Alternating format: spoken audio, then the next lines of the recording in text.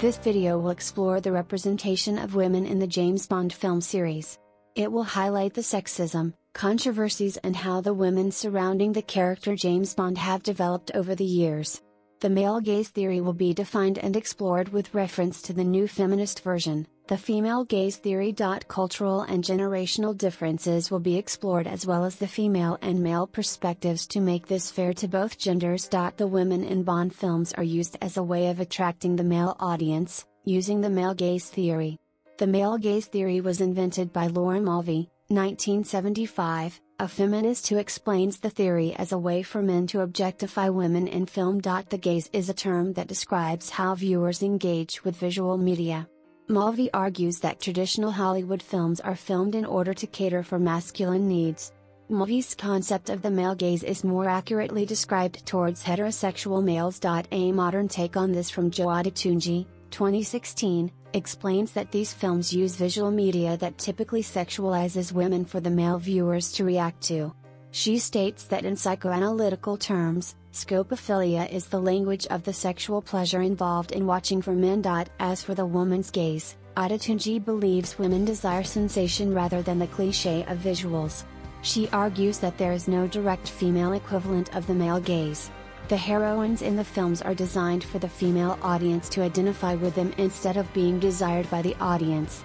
Cinema doesn't invite women to desire men's bodies, Relating to the sexualization of women, a Bond girl is the love interest, a female companion or an enemy of James Bond. They are seductive, well dressed, clever and presentable. All eyes are on them.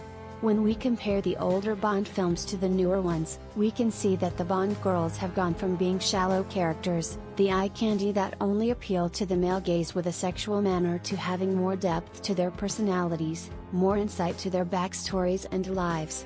In the old James Bond films, the women had absurd nicknames such as Honey Ryder, Holly Goodhead, Pussy Galore. The names alone are enough to show how sexualized and stripped of personality the women are in Bond films. It is almost like the sole purpose of the Bond girl's existence is to be there for the men's needs. James Bond films are a representation of the male power fantasy, therefore, the films portray the love interests almost like objects implying that women are disposable pleasures, rather than meaningful and valuable people in James Bond's life. Especially looking at the older Bond films, there is blatant sexism, sexual harassment and occasional violence against women, though this pattern continued in the newer generation of Bond films, it is toned down. Society and culture has massively changed since the first James Bond film came out.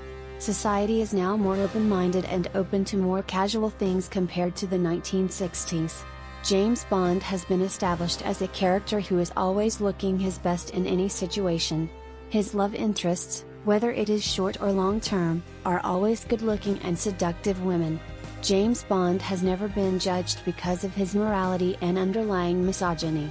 A few decades ago, women were expected to not be involved in sex before marriage, but over time, this culture around women has changed. In the 80s Bond films, the women were having sexual relationships with Bond, despite not being married to him. Older generations tend to dislike the new Bond films, and the younger generations tend to see the old Bond films as outdated. In conclusion, there are many different views on the representation of Bond women, depending on age, cultures and the degree of non-feminist or feminist thinking of what is an appropriate representation of women and men.